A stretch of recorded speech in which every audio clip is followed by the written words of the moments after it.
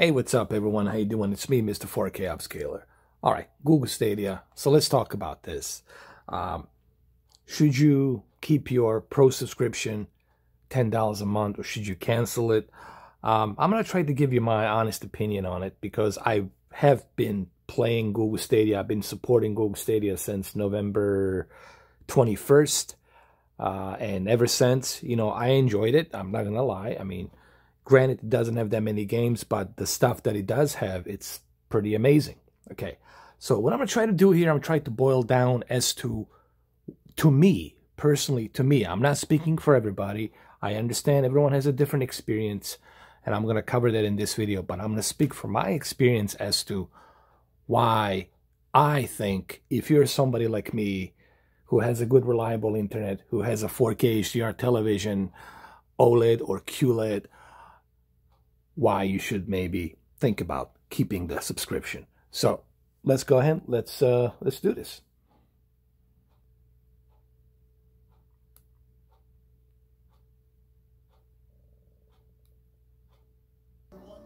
Well, first thing first, let's start with the um, the obvious. The obvious is the fact that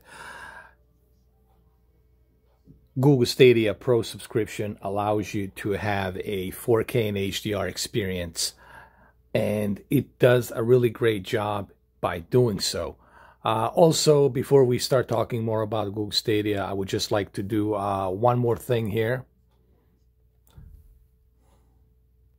If we could give just uh, maybe 50 seconds of silence for uh, Kobe Bryant.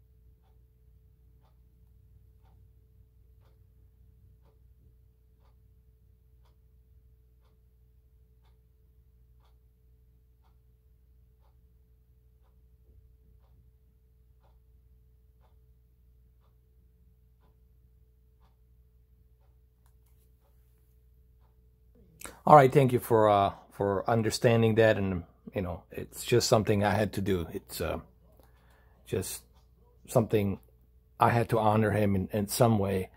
And uh, anyway, let's uh, talk about Google Stadia. Google Stadia, guys. Here's the thing. I personally think that Google Stadia Pro subscription, if you have a Chromecast Ultra, if you have a disc controller, an OLED television or QLED, QLED television by Samsung, if you have a very stable internet connection speed, I think you're truly going to benefit from 4K and HDR. Okay.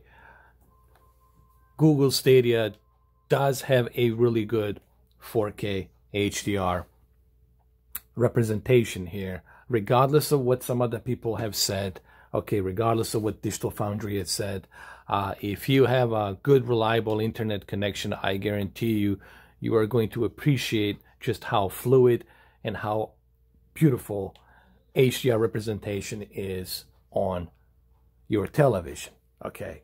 Now, everyone's experience will be different based on uh, what they have. I'm speaking from my experience. I have a good internet connection. It's very reliable. Uh, I have an OLED television, which is pretty good. And uh, I have Chromecast Ultra with Google Stadia controller. So what I'm trying to say here is this. uh, I do see a benefit in playing games like NBA 2K20 in a crystal clear 4K HDR clarity.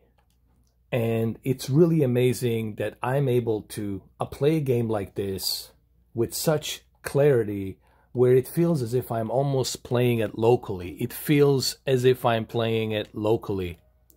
And to me, that's the one thing that uh, it's so, oh, that's so beautiful that Kobe Bryant put it in. That it's, to me, it's something that really surprised me. Uh, guys, I was very skeptical about Google Stadia, whether or not they can they can achieve this. I was uh, in during the summer of last year. I was laughing. I was like, "There's no way they can achieve this."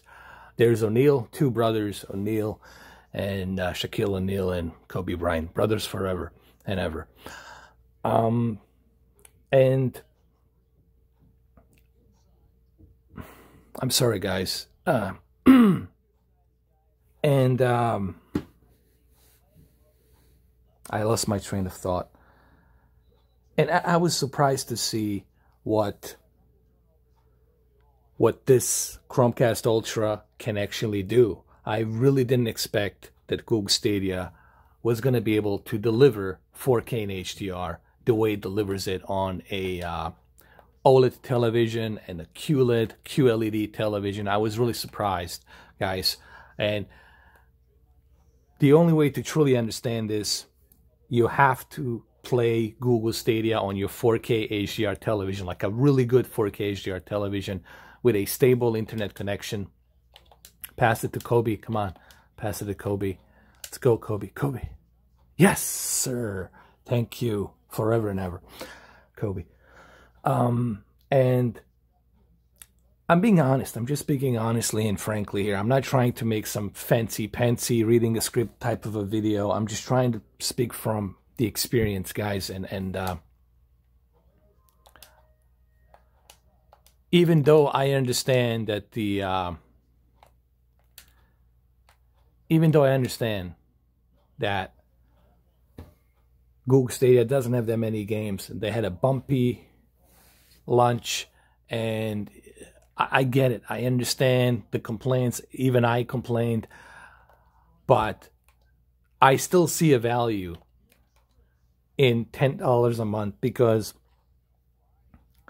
this is something that um, it's it's it's hard to believe that I can actually have something like this without any necessary hardware like a GPU. For you to achieve something like this, you got to have an NVIDIA, you know, 2060 Super or something like that, just to be able to to play something like this in this uh, type of uh, clarity, you know.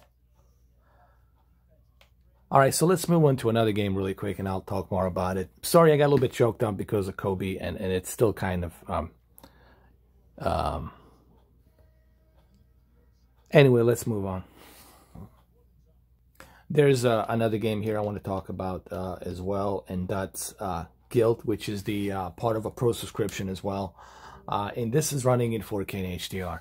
And look how quickly I'm able to click and play these games in 4K and HDR.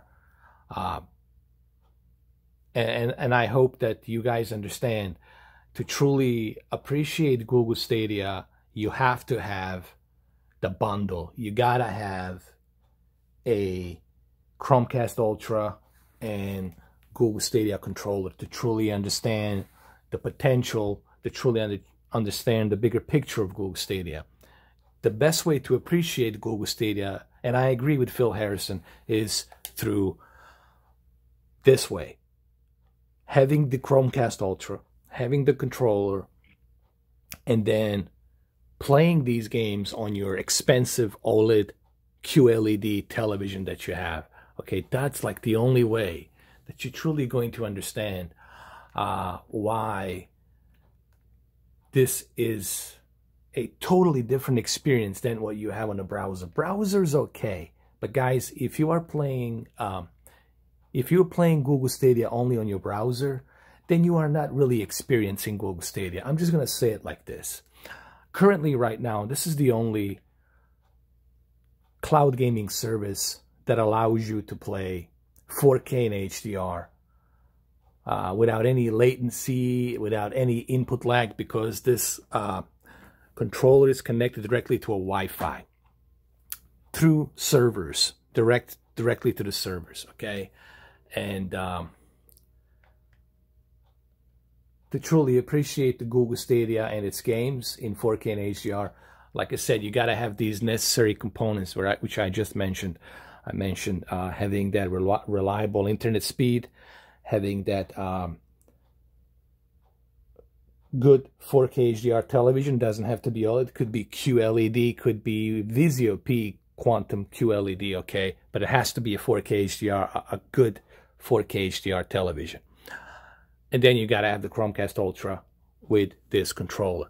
That's like the only way that you're truly going to understand the benefit of that $10 a month. Let's jump into Red Dead Redemption 2, which is also 4K and HDR. And this was a launch title. Uh, pretty amazing because uh, you cannot play Red Dead Redemption 2 on GeForce Now. You cannot play it on the uh, xCloud. You can play it on Google Stadia in 4K and HDR. Uh, that's a pretty big deal that this was released during a lunch. And also, it's a pretty big deal that you can play Doom Eternal. And look how quickly, I don't have to wait for any updates, guys. Look at the convenience. Okay, this is what I've been trying to tell people. Uh, it, it, think, think of it this way. You paying for a convenience. Convenience of you not going through all the hula hoops and jumping through all the hoops and whatnot to, to start to play a game. Because when you're playing a game directly from your PC, an expensive PC, which it is, you got to go through so many updates, servers, maintenance, updates, etc., etc., etc., etc. You got to go through all that nonsense. Well, guess what? With Google Stadia, you don't have to worry about that. You kick back in your couch, uh, in your in your bed, on your sofa, and you click play. You click this button right here, and you're good to go. You're ready to roll. That's a convenience, guys. At least to me. At least to me. And I know, I know you're going to say, but where's the games?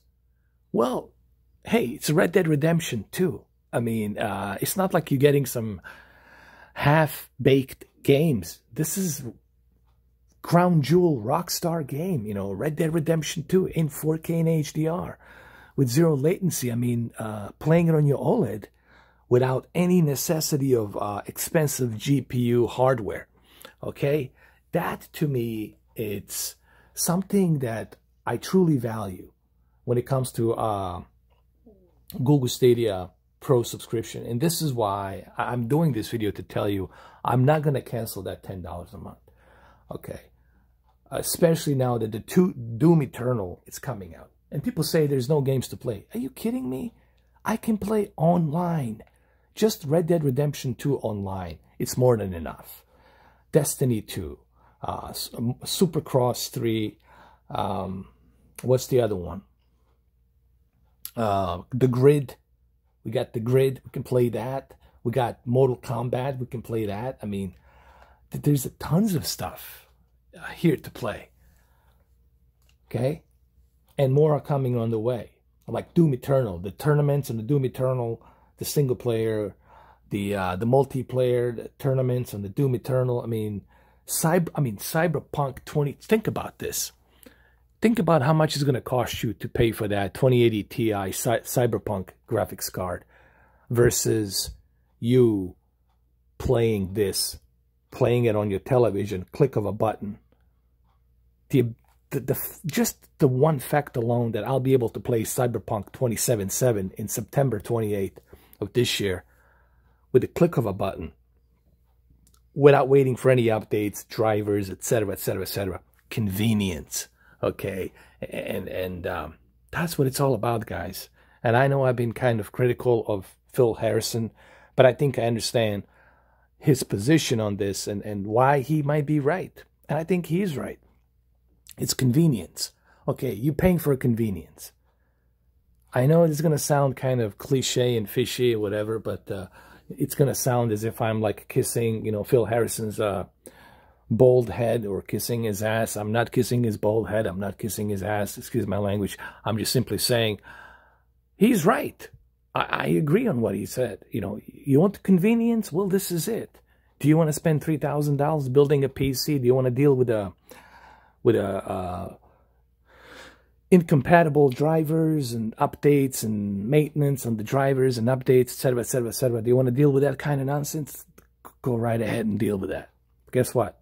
Here, you don't have to deal with that nonsense. Okay, and that's a pretty big deal, uh, if you ask me. That's a pretty big deal to me. So, yes, I understand Google Stadia doesn't have that many games, but what they do have is pretty darn good. Okay, like I said, Red Dead Redemption 2.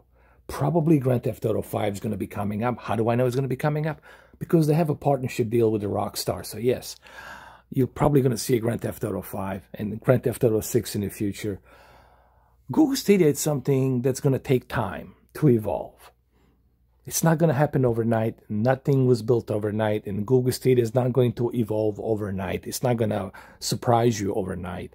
But give it a couple of years, like 2021, 2023, especially 2024, I think you guys are going to be surprised what Google Stadia is going to have for you in store. And here's yet another game, Shadow of the Tomb Raider, which is 4K and HDR. You can choose between the performance mode and a high resolution mode, which gives you a high res that goes up to 4K, and of course the HDR, which also can be adjusted as well. You know, and the fact again that that you can so quickly click and play a game like this that requires a lot of GPU power and memory and CPU power. The fact that you can just click and start playing something like this on your 4K HDR, on your OLED, even on your 4K HDR projector, okay, any of your 4K HDR panels that you might have. I think that's to me, it speaks volume of high volume of convenience. And that's what I mean when I say convenience. It truly is convenient to play like this. Okay. And the fact that I'll be able to play a Doom Eternal, click of a button, on March 20th without waiting for any updates, without waiting for any uh, drivers updates or any maintenance on the servers. Everything will be up to date. It will be will be running smooth and good to go. That's a convenience. That's that's how it should be. That's the future. Kick back, relax. You got a you had a long day. You come back home, you get to play some Doom, kick back, relax, and start watching Netflix after that. You don't have to wait for any stupid updates. Ah, Hey, so and on top of that, you're going to be playing Doom Eternal 60 FPS with 4K and HDR. Come on, man. Same thing with the Cyberpunk 2077. Um, I just maybe, listen, I'm speaking from my perspective. This is just my opinions. I'm not trying here to tell you what to do. I'm just giving you some, I'm flip, I'm, I'm just giving you the other side of the coin. I'm, I'm flipping the coin and showing you the other side of the coin to, to tell you my side of the story.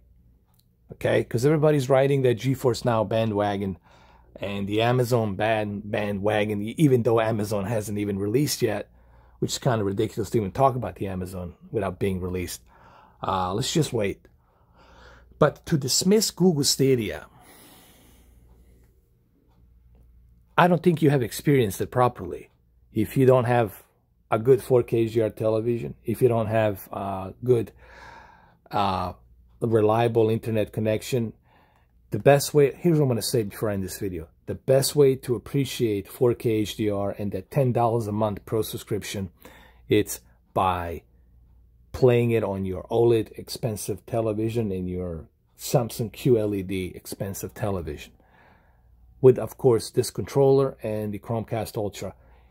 Google Stadia is not meant to be really played on your browser. I'm just going to say it right out the gate. If you're playing it on your browser, then you're just wasting time. Don't play it on your browser. Play on your television. And that's all I'm going to say about that. So let me know what you think. I gave you my thoughts. I gave you my opinions. It's been 20 minutes. This video is recorded in HDR. It's not a 4K resolution. It's a, it's a different type of, it's a QHD resolution that's downgraded to 1080p to fit this uh, ratio, but it is in HDR.